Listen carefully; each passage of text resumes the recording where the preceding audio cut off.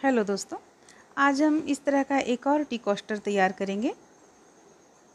इसे बनाने के बाद आप किसी भी प्रोजेक्ट में इसा, इसका इस्तेमाल कर सकती हैं। अगर आप इसे कोटी के में डालना चाहती हैं तो ये टिकिया बनाकर, जोड़कर आप कोटी बना सकती हैं, बेडशीट बना सकती हैं, या इसे और बढ़ाकर आप थालपोस बना सकती हैं, डोरमेट बना सकती हैं। इसे कई कलर से बनाकर आप इसे किसी भी प्रोजेक्ट में डाल सकती हैं। आइए देखते हैं कैसे बनता है। इसे शुरू करने के लिए सबसे पहले हम पाँच चेन बना लेंगे। एक, दो, तीन, चार और एक पाँच। पाँच चेन बना लेने के बाद यहाँ पे लाकर इसे फ़र्स्ट चेन पे जोड़ लेंगे। जुट गया? अब एक चेन लेंगे। अब यहाँ पे फंदे लेंगे। फंदे लेने के बाद बीच में हुक को डालकर और हम डबल क्रोशिया तैयार करेंगे। एक, दो, तीन, चार, पाँच छ सात आठ नौ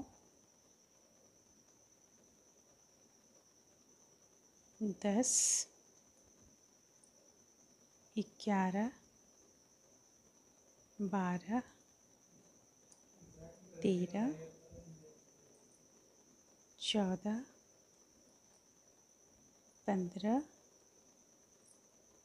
सोलह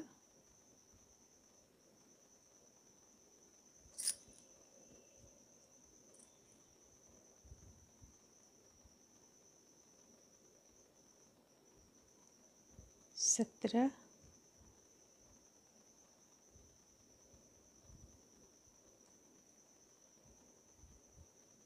अठारह उन्नीस और एक बीस। देखिए यहाँ पे हम बीस डबल क्रोशिया इस तरह से तैयार कर लिए। अब तैयार कर लेने के बाद इसे यहाँ पे लाके जोड़ लेंगे। ये जुट गया। अब चेन ले लेंगे। चेन की संख्या दो और डबल क्रोशिया यहाँ से हम तैयार करेंगे। एक डबल क्रोशिया बनाए। अब तीन चेन एक, दो तीन। और इसमें से हम इस तरह से हुक को लेकर इसे निकाल लेंगे। एक बन गया, फिर से फंदे लेंगे और डबल क्रोशिया तैयार करेंगे। देखिए, फिर से तीन चेन बनाएँगे। एक, दो, तीन। और इसमें से हुक को लेकर इस तरह निकाल लेंगे। फंदे लेंगे, फंदे लेने के बाद डबल क्रोशिया तैयार करेंगे। तो प्रत्येक चेन से इसी तरह हमें एक डबल क्रोशिया बनाकर तीन चेन लेना है और इसके बाद इस तरीके से इसे बंद कर देना है। देखिए, जैसे कि यहाँ पे हम ले रहे हैं, एक डबल क्रोशिया तैयार किए, तीन चेन ले लेंगे, एक, दो, तीन। तीन चेन लेने के बाद में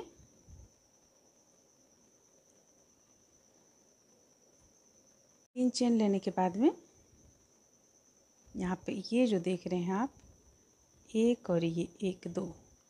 इसमें से हुक को डालेंगे और इस तरह निकाल कर बंद कर देंगे। फिर से फंदे लेंगे। एक चेन से एक डबल क्रोशिया तैयार करेंगे। फिर एक, दो, तीन। और ये यहाँ पे इस तरीके से ले जाएँगे, फंदे लेकर निकालेंगे। इससे भी बाहर की ओर निकाल देंगे। तो इस तरह से बनाते हुए हम इस राउंड को पूरा कंप्लीट कर लेंगे। देखिए, इस तरह से इसे हम गोलाई में बनाकर कंप्लीट किए। अब इसे यहाँ लाकर जोड़ देंगे। इस पे। इस तरीके से। जोड़ दिए। अब फिर एक, दो दो चेन ले लेंगे। अब देखिए, अब हमें सबसे पहले तो देखिए, ये कुछ इस तरह का भी लग रहा है देखने में। अब इस पर हम दो चेन लेने के बाद इसी जगह से हम एक डबल क्रोशिया सबसे पहले तैयार करेंगे। फिर अगला चेन से एक डबल क्रोशिया फिर से अगला चेन से एक डबल क्रोशिया फिर से अगला चेन से दो डबल क्रोशिया ध्यान रखिए, दो बीच करते हुए एक चेन से दो डबल क्रोशिया बना रहे हैं।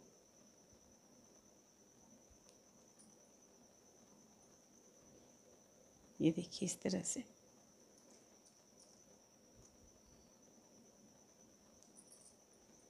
अब फिर से दो बार हम एक चेन से एक डबल क्रोशिया तैयार करेंगे, एक और एक। ये हो गया। अब एक चेन से दो डबल क्रोशिया एक और इसी चेन से एक और डबल क्रोशिया तो देखिए, इस तरह से बनाते हुए इसे हम पूरी गुलाई में कंप्लीट कर लेंगे।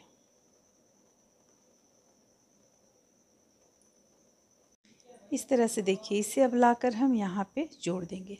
ये बन चुका। जोड़ दिए। इस तरीके से। अब हम यहाँ पे एक चेन लेंगे और इस स्थान पे हुक को डालेंगे बिना फंदा लिए हुए और दो का एक करेंगे। इसके बाद एक, दो, तीन तीन चेन ले लेंगे और ये जो दो आपको नज़र आ रहा है, इससे हम हुक को इस तरीके से निकाल कर इससे भी निकाल लेंगे। फिर से देखिए, ये बगल के चेन पे हुक को डालेंगे। दो फंदा हो गया हमारे पास, दो का एक करेंगे। अब तीन चेन लेंगे। एक, दो, तीन। तीन चेन लेने के बाद ये जो दो दिख रहा है, ये ये और ये ये। दोनों में से हुक को इस तरह से निकालेंगे, इसे बंद करेंगे। फिर से, यहाँ पे हम डबल क्रोशिया बनाते हुए इस चीज़ को बनाएँ और यहाँ पे हम डबल क्रोशिया नहीं बना रहे हैं डायरेक्ट हम इस तरीके से बनाते चले जा रहे हैं। अगर डबल क्रोशिया बनाएगा तो काफ़ी लंबा हो जाएगा ये। देखिए, इस तरीके से बनाते चले जाएँगे। एक, दो, तीन तीन तीन चेन और ये यहाँ पे हुक को इस तरह से निकालेंगे। अब इससे निकालते हुए इससे भी निकाल लेंगे। तो इस तरह से बनाते हुए हम इसे पूरे गुलाई में कंप्लीट कर लेंगे बनाकर। ये देखिए, गोलाई में बनाकर कंप्लीट कर लिए हैं। अब इसे लाकर हम यहाँ पे जोड़ देंगे। जोड़ दिए एक चेन लेते हुए ऊन को इस तरह से निकाल लेंगे। बाकी जो बचा हुआ ऊन है उसे हम कट कर लेंगे। तो ये आपको भी इस तरह से दो बार में यहाँ पे दो लेयर में कंप्लीट हुआ है। अब हम अगला कलर जोड़ेंगे। कोई भी कलर आप जोड़ सकती हैं।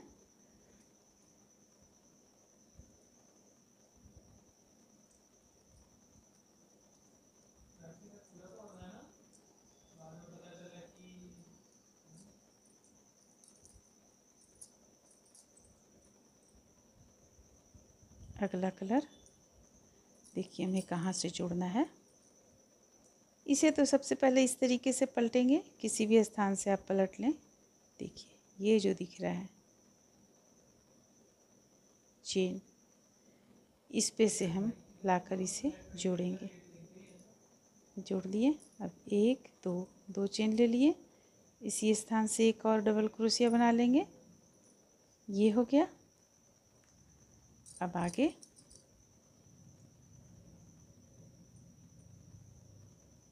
फंदे लेंगे। फंदे लेने के बाद देखिए आगे यहाँ पे ये दिख रहा है। तो इसमें से हुक को लेंगे और एक डबल क्रोशिया यहाँ पे बनाएँगे। फिर से फंदे लेंगे, एक डबल क्रोशिया यहाँ पे बनाएँगे। इस चेन से लेकर।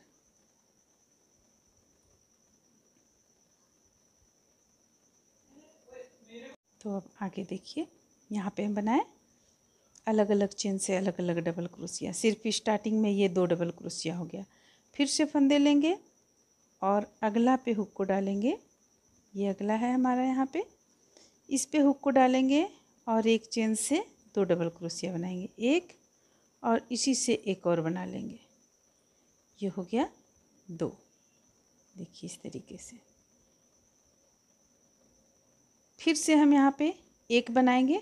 ये जो देख रहे हैं आप, ये जो दिख रहा है यहाँ पे।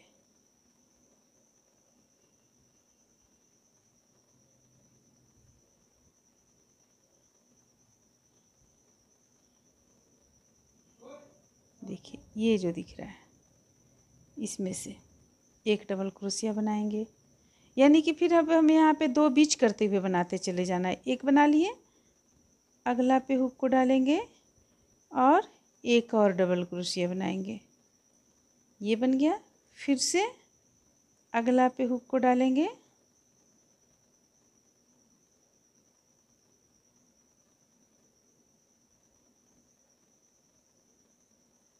ये हो गया। और एक चेन से दो डबल क्रोशिया बनाएँगे।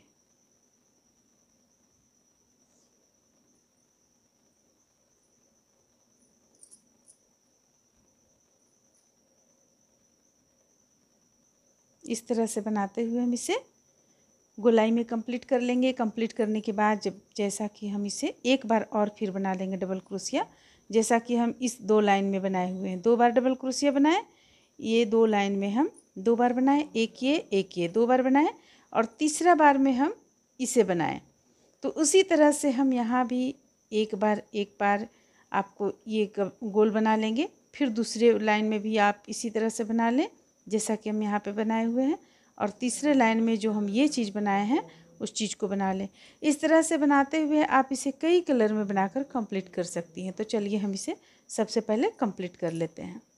इस तरह से देखिए, इसे तीन कलर में हम कंप्लीट किए हुए हैं। अगर आप चाहती हैं इसी डिज़ाइन से, यानी इसी को बनाते हुए आप टेबल क्लॉथ बनाना चाहती हैं, गोल या टिकिया का रूप बनाकर आप बेड सीट वगैरह बनाना चाहती हैं या पर्स वगैरह बनाना चाहती हैं तो आप इसे उस तरीके से भी यूज़ कर सकती हैं। तो हम यहाँ पे देखिए, देख सकती हैं आप ये दो बनाए हुए हैं। इसके बाद इस कलर से, क्रीम कलर से एक बनाए, फिर इस कलर से एक बनाए।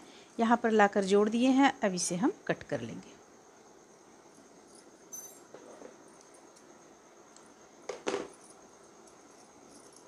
कट कर लेने के बाद इसे हम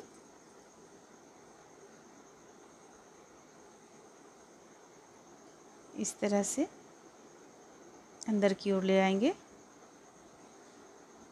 ये हो गया। अब चलिए इसे हम बिछा कर देखते हैं। आप इसे अगर कुछ और रूप देना चाह रही हैं तो आप इस तरह से मोती इस पे यहाँ पे डाल करके और ये पेस्ट कर सकती हैं आप इस तरीके से। और भी इसका खूबसूरती बढ़ जाएगा। बीच में चाहे तो यहाँ पे डाल सकती हैं।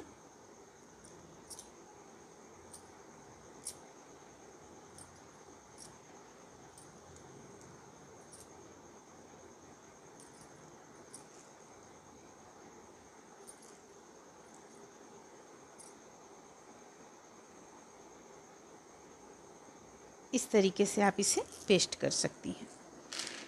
तो इस तरह से ये बनकर तैयार हो जाएगा। अगर आपको आप इसे टिकिया का रूप देना चाहती हैं और टिकिया बनाकर आप इसे, जैसे बहुत सारे टिकिया के द्वारा आप ब्लाउज बना सकती हैं या कोटी बना सकती हैं, पर्स बना सकती हैं या बेडशीट बना सकती हैं। अगर उसका आप रूप देना चाहती हैं तो इस पर आप इस तरह का पर्स वगैरह में तो इस तरह का मोती आप डाल सकती हैं।